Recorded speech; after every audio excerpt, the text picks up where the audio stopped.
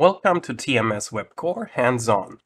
Today we're going to take a deeper look into the await keyword that has been introduced with the latest version of TMS WebCore, Ancona.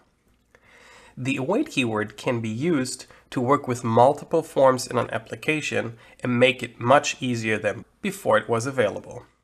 My name is Holger Flick, and if you have questions or comments about this video, just email me. My email address is holger at flixengineering.com. The scenario used in this example is pretty simple, and I'm quite sure you will be able to transfer it into your own applications. On the left, you see the main view of an application with a login button. The login button can be used by the user to log into their account. We will not focus on the authentication that is being used. We'll just focus on the fact that the main view shows a second form with the sign-in title that allows the user to enter their email address or username and password. Of course, we will be able to distinguish if the user pressed OK or cancel. Before we look at the implementation, here's the running application. The main view, we can click on Login. A second form is shown I can enter my username, my password, click OK, and I'm logged in. Of course, if you press cancel, the login is canceled. Every form in a TMS WebCore application usually is tied to one unit. Here you see the main form tied to uform main.pas and the login form is tied to uform login.pas. The main form will use the login form and we'll have to create the instance. Let's have a look how we had to do it before the await keyword was available. Double clicking on the login, we get into the button login click event. And here you see I prepared a method called do login old, which will show us how we had to log in before TMS WebCore Ancona. We need a reference to the new form that is supposed to be created.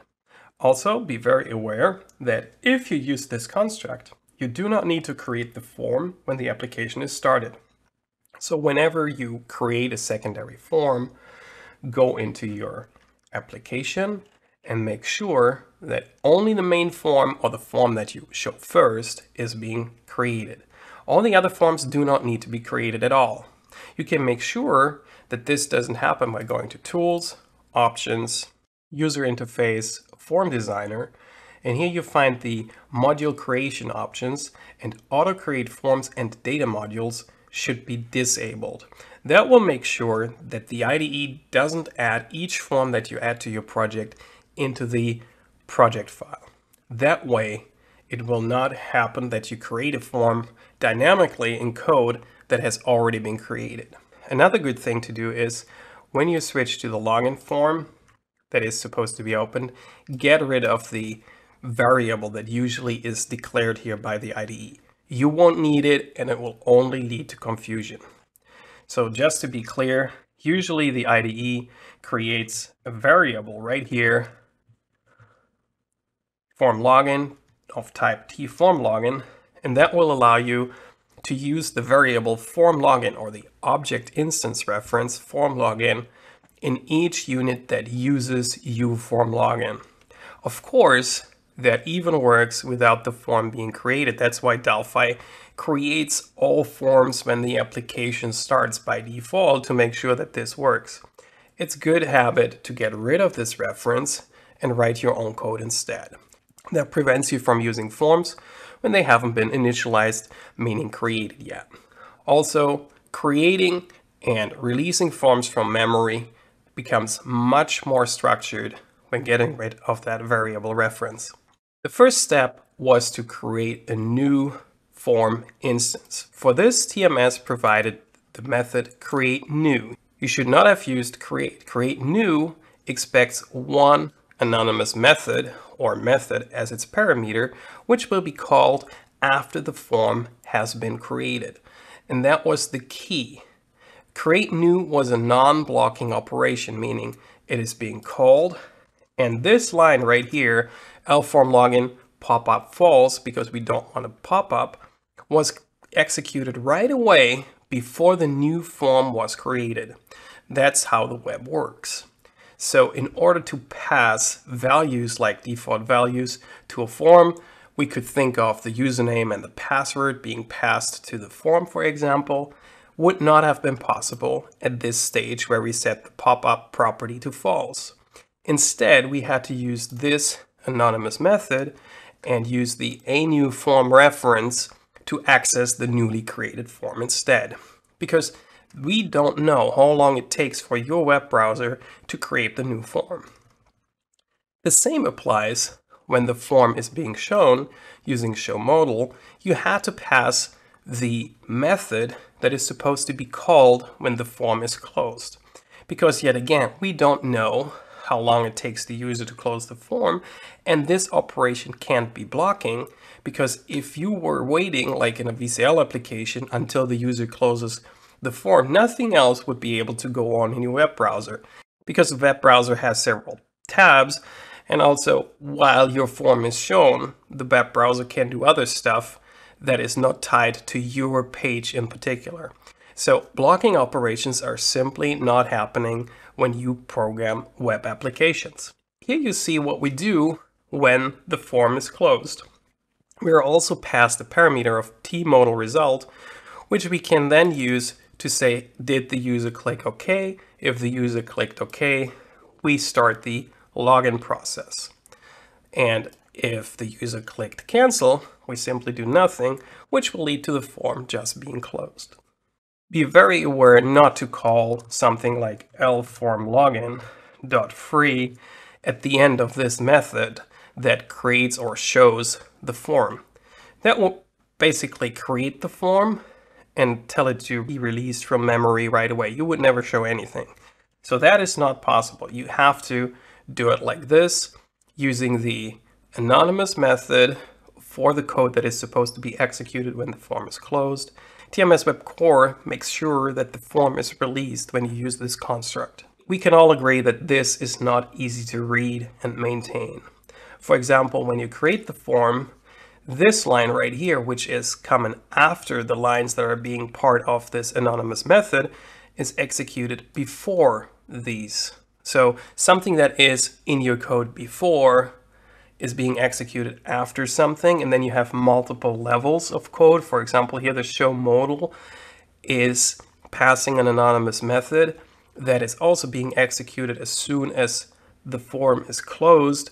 Still, it becomes harder to maintain your code if you have a lot of code written in this way because you always have to be aware if your application is running, there might always be the case that some anonymous method is being executed that the user interaction hasn't happened with yet, and then at some point it is going to happen. This mostly means that, for example, states that you want to maintain or monitor have to be embedded in field variables of your classes because you don't know when this is being executed, so you can't use a local variable to save certain states. This led to TMS making it a lot easier introducing the await keyword, which is part of the pas2js compiler. Just to point this out, I just said it like colloquially, it is part of the pas2js compiler, that means you won't be able to use await in your VCL or FireMonkey applications because it is strictly a part of TMS Web Core and its compiler that creates your web applications. Let's look at the new possibilities that we have with await. Again, we go to the implementation of the login button and change do login old to do login. Again, we have the reference to the form in this case, we also need a local variable to store the result of the dialog being closed, meaning if the OK button has been pressed or the cancel button has been pressed. tmodal result is an integer, so that's why I use that data type here. Instead of using, and this is already the first major difference, we can use the standard create method with the parameter self, meaning we create the form and its owner is being set to the form that creates it. And in the next line already we have tform login popup equals false, same as before, but there's no code that would be executed when the form has been created or anything like that. No anonymous method is being used. So what we do now is we use the await keyword and the method tform login load. That makes sure that the execution of this method does not continue before lform login has been completely loaded and created. The necessity for the method node is pretty simple because TMS Web Core had to use a method name that was not used yet. So TMS Web Core uses load in order to tell it load the form, await waits for it, and then the first parameter gives the data type that is supposed to be used that is being loaded. In this case, it is tform login, which is the class type of lform login. If you want to initialize your form with values, at this point you could actually do lform login dot, and you would be able to set default values if you wanted to. There's no restriction here that you have to use an anonymous method. No precautions have to be taken. You can simply write your code one line to the next without taking care of the fact that this is being executed asynchronously inside of the web browser.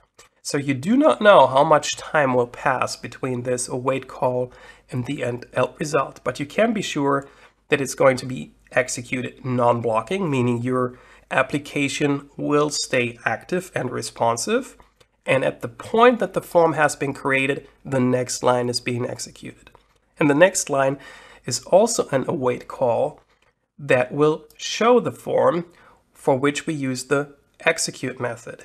Execute shows the form, and returns a t-modal result that allows us to evaluate which button was pressed. The next line is being executed as soon as the form is closed.